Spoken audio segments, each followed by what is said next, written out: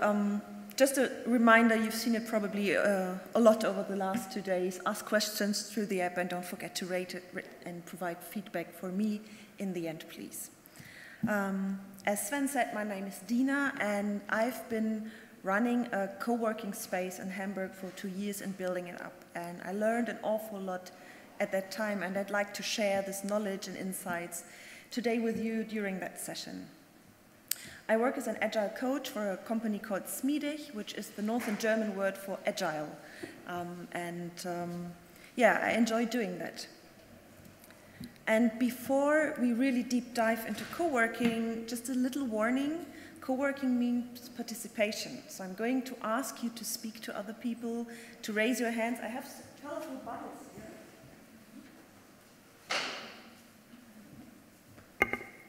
I put them in the front row, so at some point in time you need to grab them somehow to be able to participate, because I'd like to play a little bit with you. And if you're not comfort comfortable doing that, please feel free to, to leave the session and ask me anything you would like to know in a way that is more comfortable for you. So what actually brought me to co-working was serendipity. Because to cut a long story short, I was looking up secondhand shops for kids in the internet and ended up running a co-working space in Hamburg. And that is something we really like to create because co-working is not so much about the spaces, but about the people.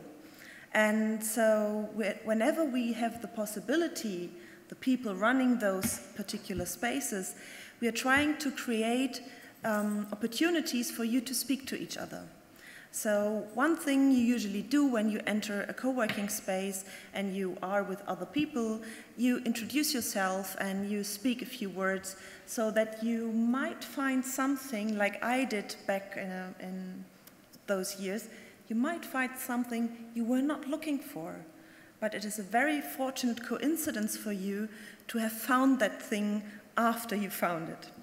So to be able to do that, I'd like you to speak to a person sitting close to you. So some of you might need to move a little bit and just take two or three minutes and yeah, start looking around. Whom would I like to get to know better?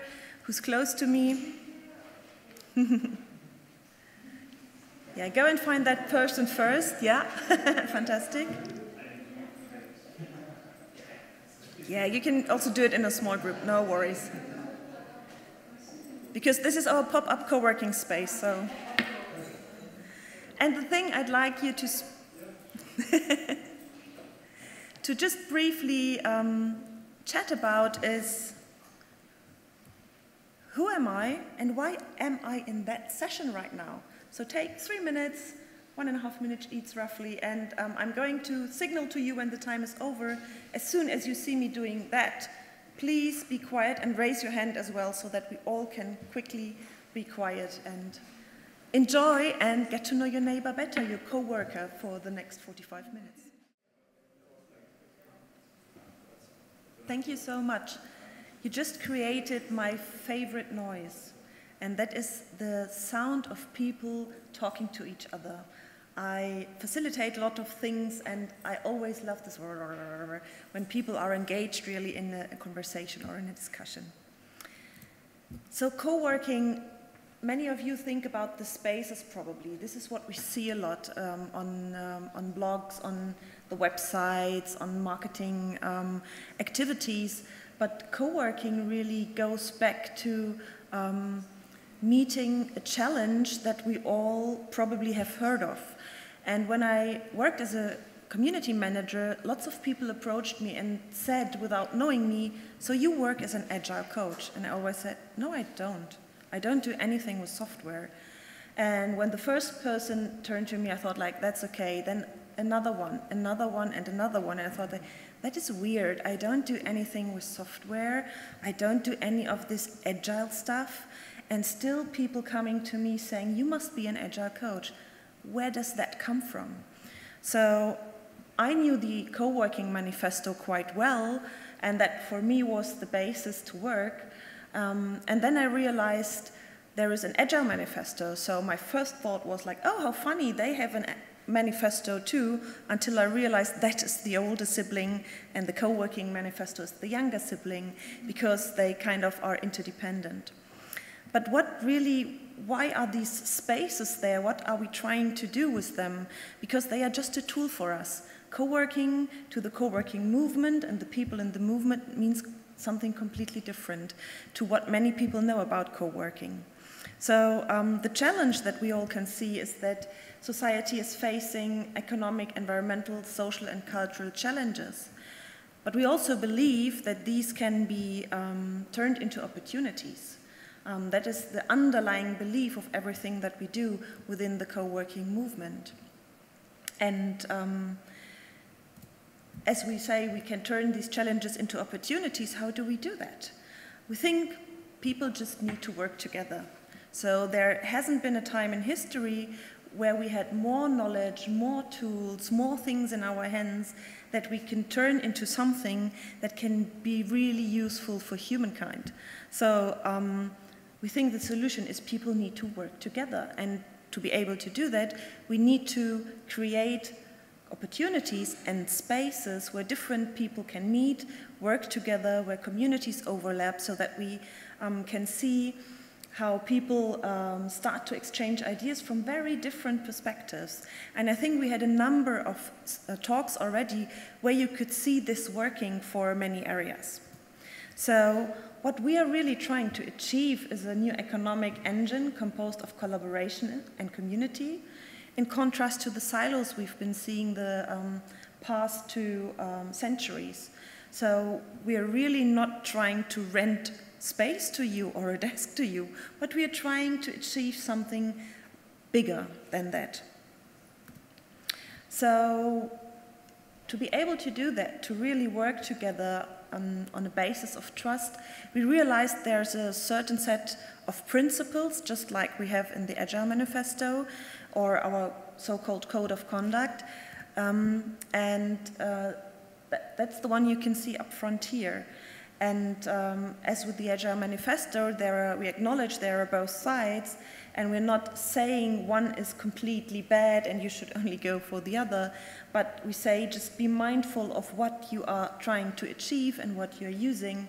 Um, and if you are a person who wants to belong to the co-working movement, we value collaboration over competition, communities over agendas, participation over observation, this is why I'm going to ask you to get involved today, doing over saying, friendship over formality, boldness over assurance, learning over expertise, people over personalities, and value ecosystem over value chain.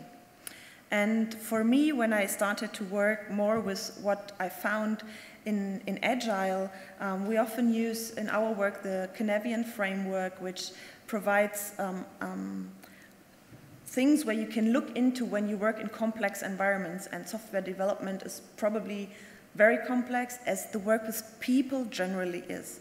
So in order to find new ways of doing things, you need to be bold and you need to try out something new and experiment. And you are not sure because your expertise, your knowledge doesn't get you any further or can't create the solution you're looking for.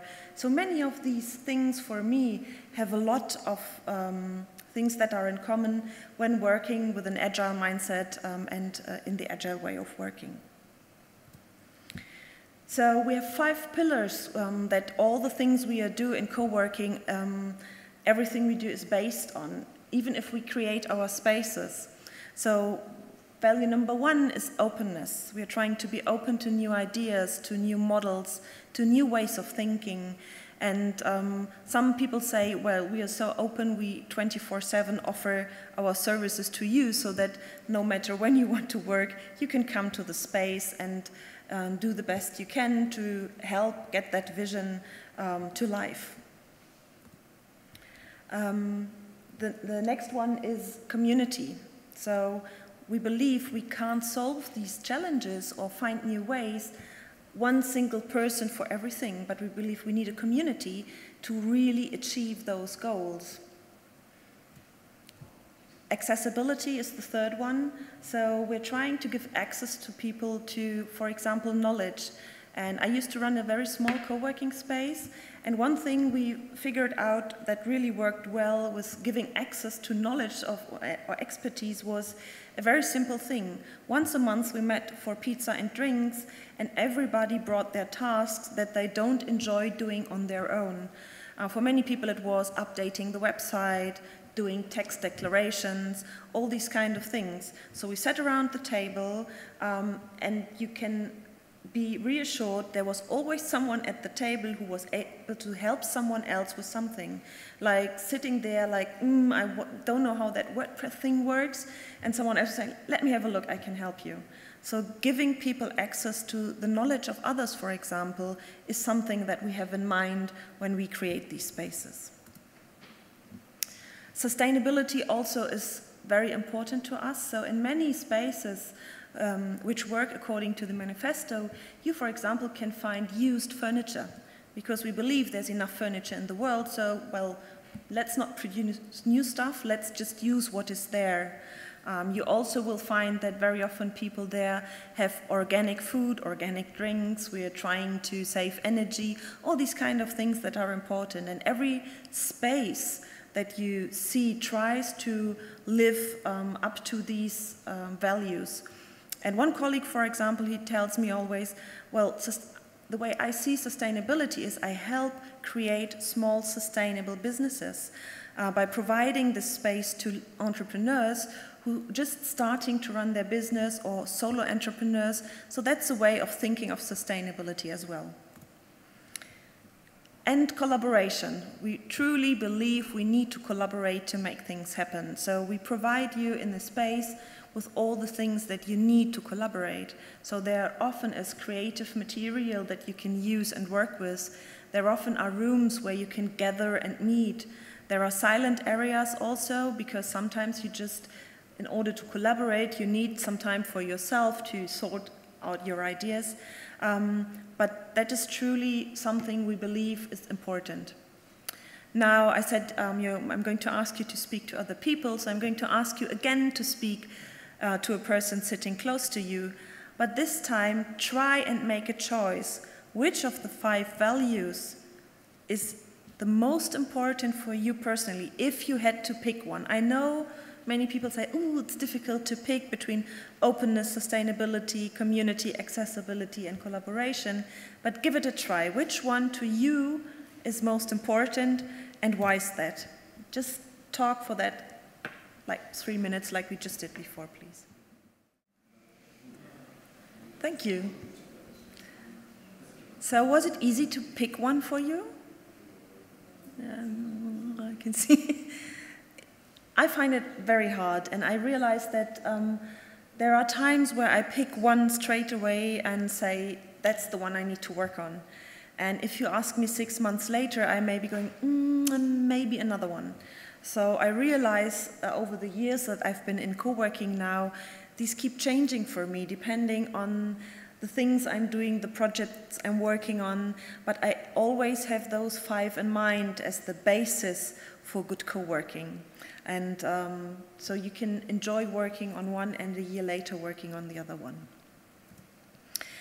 There is one thing that is um, really important to us in the co-working scene. We're asking you to save coffee mugs.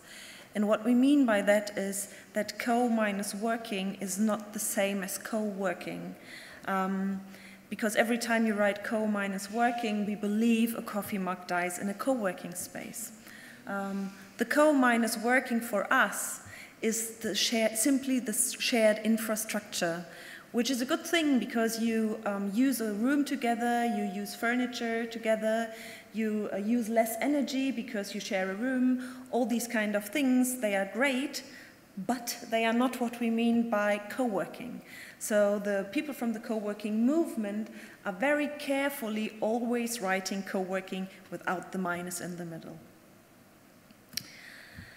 So it's that easy. If you have co-minus working and I want co-working, I simply go to where co-working is at the front door, right? Not really, because everybody is allowed to use the term co-working. You can't protect it. So as co-working became more and more interesting to people from other areas, everybody said, we do co-working, we offer co-working, we have a co-working space, and these can be such different things as small office communities or business centers or incubators and accelerators, co-working with the minus, which for me is managed real estate. They provide you with a super infrastructure, well designed, everything very beautiful, but they don't have community and people in the center of what they are doing. And of course, real co-working. So how can you, as a user, as someone who wants to go and co-work, really distinguish between all these things? And the way we're going to find that out is I'd like to play with you a little bit. And I um, provided some of the chairs with these three colorful paper things. They're all in the front, I'm afraid. Please, um, if you could get those, um, and I'll help you and distribute a few more of these. I don't know if you know that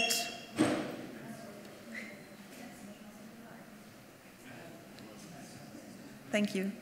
One for everyone? One for everyone, yeah. So everyone should have all three colors. And I don't know if you're familiar with that uh, game show for kids. I loved to play it when I was younger. Um, the um, showmaster usually asks a question, and there are three possible answers to that question. And the kids usually jump around and pick the field in which the, they think the right answer is, and then suddenly the light goes off in the wrong ones and on in the right one, and yay, you got a point. So with me, yeah, there's no jumping around today. I thought this is a bit too tricky, but if you could, you want to jump? We, you can jump. I thought it's just more easy to say, okay, one, two, or three is my option. Next time we'll jump, okay? Um, but this time there's no wrong answer. It's just trying to give you an idea of what to ask, what to look for, what to think about when you are looking for a space that you'd like to work in. So let's start our first round. How much interaction do you prefer when you work? The more people and events around me, the better. Number two, a small community of five to 10 people really is enough. Or the sound of keyboard rattling in a coffee machine is just fine for me. One, two, or three. Okay. So we, we have a lot of twos. Um, we have also ones, and the ones I recommend for you, go and look for a big, you can take the signs down. Go and look for a big co-working community. And what I mean by big is not big by square meters. What I mean by big is big by community members. And that often is the first thing if someone tells you, we have the biggest co-working space in town, you ask by square meters or by people, community members. Um, because square meters typically is what real estate people will sell you. Community members is what the co-working people will sell you. Because the more community members you have, the more um, events they can offer, because usually the events and the spaces are created by the members themselves. So the community manager walks up to you and says, I know you have an expertise in, let's say, WordPress. How about running a WordPress um, uh, FAQ every now and then? Or yoga classes, or whatever they think you can do really well, they are going to ask you to create an event. And uh, if you're looking for that kind of thing around you, you need that kind of atmosphere, go for the big co-working communities, not the square meters a small community of five to 10 people. Um, we had some yellow here as well. Um, we have those small co-working spaces. It's not only office communities nowadays. We have, um, particularly here in Berlin, we have the Kiezbüro, which is Björn running lots of very small co-working spaces just around the corner of your home probably. So you can look for the smaller spaces where it's a bit calmer but you still meet people, like-minded people, and have them around you. And the sound of keyboard rattling and the coffee machine, um, probably you like to work in a coffee place. Um, because you like this white noise, you like this atmosphere, and there are spaces who have both things integrated into their spaces. And you can work in the coffee area or you can work in the open space area. Um, I'm just asking you to be mindful if you work in a real coffee place, which happens to have Wi-Fi, The business model of that person depends on you consuming something. So they probably will come around every now and then and ask you, Can I bring something? Do you want to eat something? Do you want to drink something? Please be kind and help that person have a sustainable business and drink a coffee or have some food there because we had people sitting in coffees bringing their own food and drinks. And that's kind of weird. I can understand that you love this atmosphere, but bear in mind what the person's trying to achieve who's running that particular space. So, round number two how, how often would you like to work from your space? Is that number one, I will decide that every day on the fly. Number two, no, every day I want to go to that space, or two to three times a week, I don't know, but more than deciding it on the fly. One, two, or three. Oh, good mixture there. Lots of blue, okay. so we'll start with blue then. Two to three times a week, that is something if you found your space, it's worth looking into a membership there. We often have these um, small membership um, things where you have access to the rooms, um, like on a limited number of days or on a limited number of business hours, like from 10 to 6 or something. That might be valuable for you. Um, people who would like to go everywhere to the same spot definitely go for a membership. Because what we want is that you be that you are going to be part of our community. And the way we reward this is we lower our membership rates the longer you are committed to staying with us. Because we believe then this kind of trust is built that we need for you to collaborate with the others around you so that you can um, then contribute to the aim of that particular co-working space. If you want to decide every day where you work, just take day passes. Lots of co working spaces have a day pass option, and you can just simply book you, yourself in for a day and do something completely different the next day. And where would you like to work? Where do you do your um, work most of the time? Only in your hometown? Number one in several cities here in Germany, number two, or around the globe, number three, one, two, or three. Yeah, good mixture there as well. Fantastic, thank you.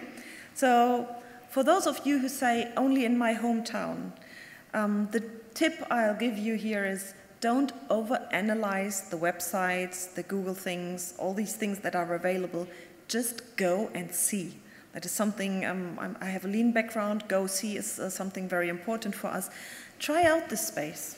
Um, don't try to find out if this is the space for you from home at your computer. Go and see if you like the people, if you like the atmosphere, if you like the events they are offering. Um, simply try them out. Most of the spaces have um, free trial days or days where everybody can come in and just uh, try them out. So make use of these options. Uh, we luckily show you around and explain you everything. Don't be afraid to go there and do it. So boldness was one of the things in the principles. So just be bold and go in there and ask if you can work there for a day. If you want to work in several cities here in Germany, it's worthwhile looking into the bigger communities like House um, and others who have um, either a partnership with different um, other spaces so that you are a member of, let's say, betahaus in Berlin, and you can use, of course, betahauses in Hamburg, where we will soon have two, or in other European cities. Um, and very often, a good co working manager would be able to tell you, Well, I'm traveling to Stuttgart. Can you recommend me someone in Stuttgart where I can go to? And we do that because we believe it's important that people meet and communities overlap. So we are not going to convince you that our space is the best one, but we will make sure you find the place where you can be a happy working person. And if you want to work around the globe, there are helpful apps like Copass, where you can not only find your space, but also book the space right away. Um, so if you're really working like a digital nomad all around the world, it may be worthwhile installing one of these apps, uh, looking at these platforms, and finding your space to work. Next question is How important is a personal workspace to you? Number one, I don't care a lot about this. Number two, my own desk is important for me. Or number three, I need lots of things with me to be able to work, like records, paintings, a big screen. Um, one, two, or three. Oh, that's colorful now. Yeah, fantastic. So number one, if you don't care where you work, you're what we call an um, open space and flex desk person. So these are the options that usually have come at, at lower rates because we uh, uh, appreciate that you come in, do your work, go away, and once you're gone, we can rent that space out to another person. And that's what you find under Flex Desk. Number two, um, if you need stuff with you and you a big screen, or you say, I'd like to know where I sit every working day, then you are more of a fixed desk person. Um, that's usually a bit more expensive because we can't rent that space out to someone else it'll be yours. Nobody will be touching the things on your desk, and you know you always have your preferred seat by the window. If you need lots of things, some co-working spaces offer little offices, and by little, I really mean little, uh, just a few square meters. The reason for that, why um, in real co-working spaces the offices are so tiny, is we know you need the stuff um, to work, but what we don't want is that you disappear in there, feel so cozy that you never come out, expect in the evening when you leave.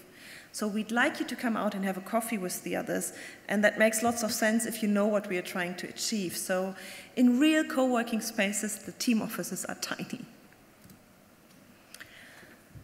I'd like to show you three spaces that to me are the top three spaces here in Berlin um, for developers. And number one for me is the St. Oberholz, which is um, created with lots of knowledge and love for people who like to co-work. They have a coffee and they have a co-working space. So if you want to move in between a coffee, atmos coffee house atmosphere and um, quieter areas, the St. Oberholz is really um, a great place to work from as is um, also the betahaus. Um, I mentioned betahaus because they have a bigger community of spaces all across uh, Europe. Um, they are very knowledgeable about what you need to work, um, and they provide a super infrastructure for you there. And number three is Enclave, which uh, saying Berlin's best rated co-working space on their website. And what you typically, typically can see on the websites of co-working spaces, like here, is real people in real situations. Sometimes a bit blurred photographs, but the reason for that is we're people-centered. We won't usually show a lot of design things only in empty spaces, but we will show a lot of people on our websites.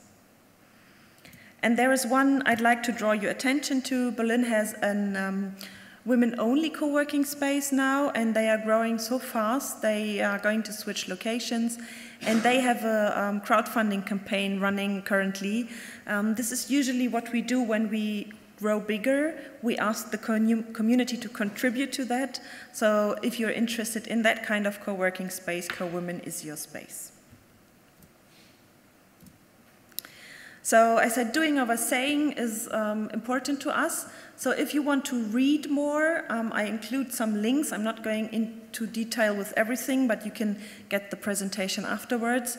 So there are certain online magazines like DeskMag, which also does the annual co-working survey. So if you're thinking about maybe opening a space yourself, which for many, many uh, people who run spaces was the biggest motivation to create a space where they can really brilliantly work from, um, you can find inspiration there.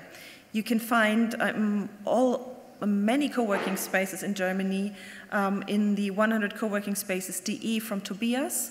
He asked um, 100 co-working spaces all across Germany, rural areas, urban areas, south, west, east, north, to introduce themselves on that uh, blog.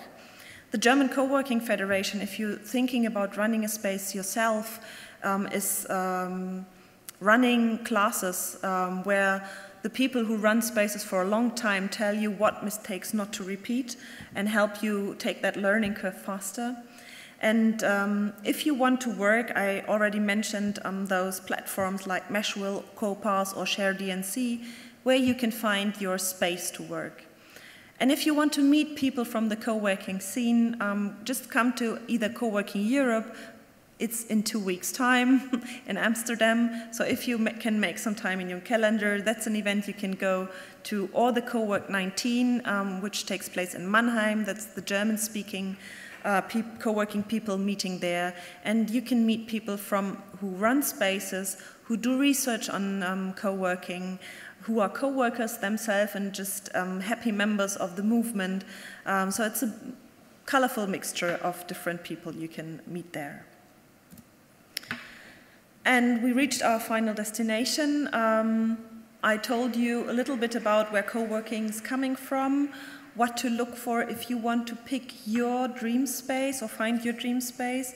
And if you have any questions, please feel free to reach out to me anytime via different channels. And um, yeah, that's the end of my presentation, and I'm curious to see if you have any questions on co-working. And don't forget to rate my session and give me some feedback, please.